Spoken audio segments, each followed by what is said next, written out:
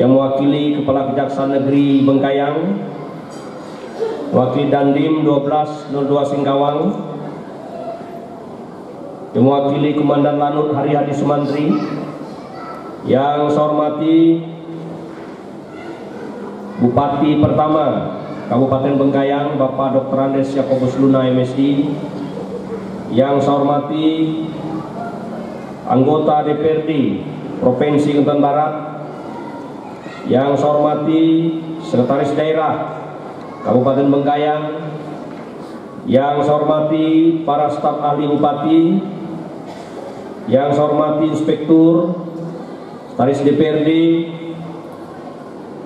Kepala Dinas, Kepala Badan, para asisten, para kepala kantor, kepala bagian, yang saya hormati Kepala Kantor Kementerian Agama Kabupaten Bengkayang beserta seluruh jajaran yang saya hormati Camat Bengkayang, Camat Lumar, Camat Teriak, yang saya hormati para pendeta, pastor, para suster, pimpinan-pimpinan organisasi kemasyarakatan se-Kabupaten Bengkayang, Bapak Ibu hadirin tamu undangan yang tidak dapat saya yang tidak dapat saya sebutkan satu persatu yang saya hormati, saya cintai dan yang saya banggakan. Shalom.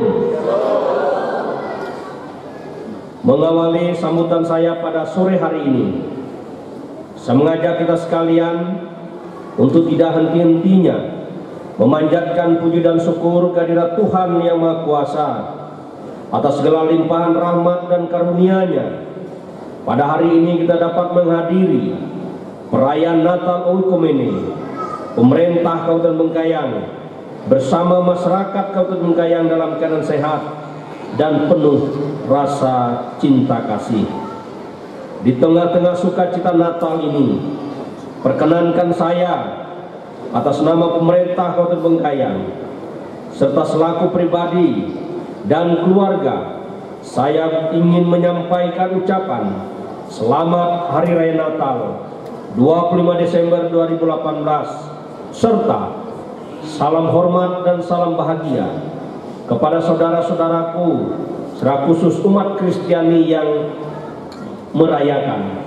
Seraya menyampaikan selamat tahun baru 1 Januari 2019 kepada kita sekalian semoga dengan perayaan Natal bersama tahun ini dapat memberikan kedamaian kebahagiaan dan kesejahteraan bagi seluruh umat Kristiani yang merayakan sekaligus dapat memberikan semangat dan harapan baru untuk membangun hari esok yang lebih baik bagi kita, bagi seluruh masyarakat keterkayaan, serta untuk membangun daerah dan bangsa yang sama-sama kita cintai ini.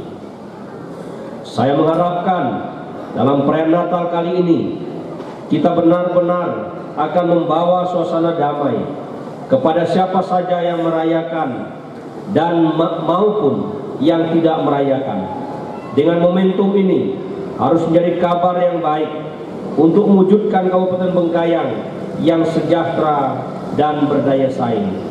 Sesuai tema Natal tahun ini adalah Yesus Kristus hikmat bagi kita.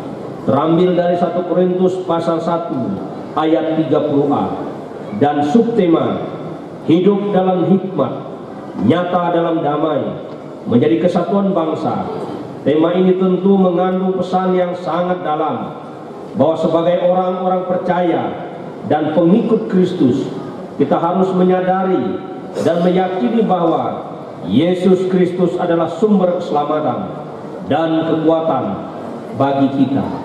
Dan di dalam tema ini Yesus Kristus adalah hikmat bagi kita tetapi juga di tengah-tengah pergumulan dunia kita sedang menghadapi begitu banyak masalah, tantangan, persoalan yang tidak sedikit dan tidak kecil yang terjadi baik itu persoalan internal di dalam gereja dan juga di tengah-tengah masyarakat bangsa bahkan secara global maka hal berkait hal ini yang berkaitan dengan kesadaran spiritual ataupun penghayatan iman kita untuk menjadi hal yang sangat-sangat penting. Tema Natal ini mengandung sebuah makna pesan dan relasi di mana kita memasuki ruang waktu dan ruang hidup kita. Maka kita tidak hanya mengandalkan kekuatan diri kita atau otoritas kita sendiri, tetapi kiranya kita terus mengandalkan Tuhan dan juga mengandalkan hikmat yang berasal daripadanya. Karena itu, karena itu saja yang bisa mengantarkan kita untuk melakukan hal-hal yang berguna, baik diri kita sendiri, gereja, masyarakat, bangsa dan negara. Oleh karena itu, saya mengajak kita semua supaya kita mempersiapkan diri dan hidup yang akan kita lewati bersama tetapi tetap dalam tetap tetapi juga dalam perayaan Natal supaya kita tidak hanya melewati ini sebagai perayaan-perayaan seremonial tetapi dengan penghayatan diri secara penuh dengan hikmat mengandalkan kekuatan dan juga berkat yang Tuhan berikan buat hidup kita dan kita akan menjalani hari-hari kita ke depan dengan lebih baik. Setiap kali merayakan Natal, kita bersuka cita atas kelahiran Sang Juru Selamat Yesus Kristus. Peristiwa ini sungguh menyatakan betapa besarnya kasih Allah kepada kita sehingga ia telah mengurniakan anak yang tunggal supaya setiap orang yang percaya kepadanya tidak binasa melainkan beroleh hidup yang kekal. Kedatangannya disambut baik oleh para gembala yaitu orang-orang kecil yang merindukan juru selamat maupun oleh orang-orang majus yakni kalangan bijak dan terhormat yang mencari kebenaran dan keselamatan. Janji Allah akan keselamatan terwujud dalam diri Yesus yakni meskipun anak Allah telah merendahkan dirinya dan taat sampai mati bahkan sampai mati di kayu salib melalui kerendahan hati dan pengorbanan diri Yesus melaksanakan rencana Allah untuk menyelamatkan manusia. Begitulah hikmat Allah yang berbeda-beda dengan hikmat duniawi. Sudah lebih dari 2000 tahun Yesus datang ke dunia. Tetapi karya keselamatan yang dia tawarkan kepada umat manusia masih harus terus diwujudkan. Banyak orang yang telah menanggapi undangan Allah ini dalam hidupnya sehari-hari. Di antaranya dengan menunjukkan tinggi hak asasi manusia. Akan tetapi kita masih menjumpai orang yang tidak peduli pada suatu hati dan tidak mengindahkan hati nurani serta tidak malu terhadap sesamanya dan tidak takut kepada Allah sehingga berbuat sesuatu melanggar hak asasi manusia.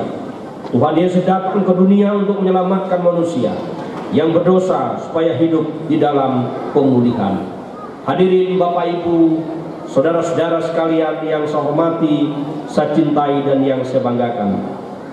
Syukur kepada Allah. Berkat Yesus Kristus kita dipanggil untuk hidup menurut hikmat ilahi. Yesus Kristus itulah hikmat Allah bagi kita Kristus itulah yang mengajarkan kita nilai-nilai kerajaan Allah serta mengajak kita hidup saling mengasihi dan rela berkorban demi terciptanya kesejahteraan bersama. Yesus menunjukkan hikmatnya melalui pewartaan Injil dan tidaklah belas dan tindakan belas kasihan untuk menguduskan dan menebus kita. Kita diajak untuk menyadari panggilan sebagai pribadi yang berhikmat yang dipilih untuk melayani bukan untuk dilayani. Perilaku pemimpin yang koruptif telah merusak kesadaran moral masyarakat seolah-olah jalan pintas yang tidak pantas adalah cara cepat mencapai keberhasilan. Tindakan koruptif sering berhubungan dengan pelanggaran HAM. Untuk itu, kita membutuhkan pemimpin dan wakil rakyat yang penuh hikmat. Hal ini sejalan dengan sila keempat Pancasila kerakyatan yang dipimpin oleh hikmat kebijaksanaan dalam permusyawaratan perwakilan. Natal mengingatkan kita akan hikmat Allah yang terwujud dalam diri Yesus. Natal bukan semata mengenang kelahiran Yesus sebagai bayi di atas palungan, tetapi juga kehidupan Yesus yang penuh hikmat dan dicurahi Roh Kudus. Ia datang membawa, membawa tahun rahmat. Tuhan, kata-katanya tidak menekan, tetapi menyejukkan, memberi jalan Tegurannya bukan menghujat, tetapi jalan keselamatan. Ajarannya bukan asal menyenangkan, tetapi mengembalikan martabat manusia. Akhirnya, saya mengharapkan kepada kita semua agar dapat mengimplementasikan kasih Tuhan dalam kehidupan sehari-hari menjadi gambar dan terang dunia, senantiasa membuat damai sejahtera, serta mampu membangun semangat kebersamaan dan toleransi di antara pemeluk umat beragama. Walaupun kita berbeda-beda, tetapi kita tetap satu Indonesia. Ibu bapak, saudara-saudara hadirin sekalian yang saya hormati, saya cintai dan yang saya banggakan. Dalam kesempatan yang sungguh amat berbahagia ini, tidaklah berlebihan atas nama pribadi dan seluruh jajaran pemerintah daerah Bengkayang. Kami menyampaikan terima kasih atas dukungan, partisipasi, daripada seluruh lapisan masyarakat Kabupaten Bengkayang atas terjaga dan terpeliharanya kehidupan bermasyarakat kita, kehidupan beragama kita yang telah terus terjaga sampai hari ini. Utamanya kita telah melewati tahun 2018 dengan aman, damai, dan sentosa. Dengan harapan, mari kita terus bergandengan tangan, bahu membahu untuk memasuki dan menapaki tahun 2019 ini kiranya tahun 2019 ini tahun yang penuh berkah tahun yang penuh kesuksesan buat kita semua kepada Bapak Ibu Saudara-saudara sekalian atas dukungan dan partisipasinya yang selama ini telah dilakukan selama tahun 2018 atau selama berada selama berdirinya Kabupaten Bengkayang saya menyampaikan ribuan terima kasih dan penghargaan yang tidak terhingga.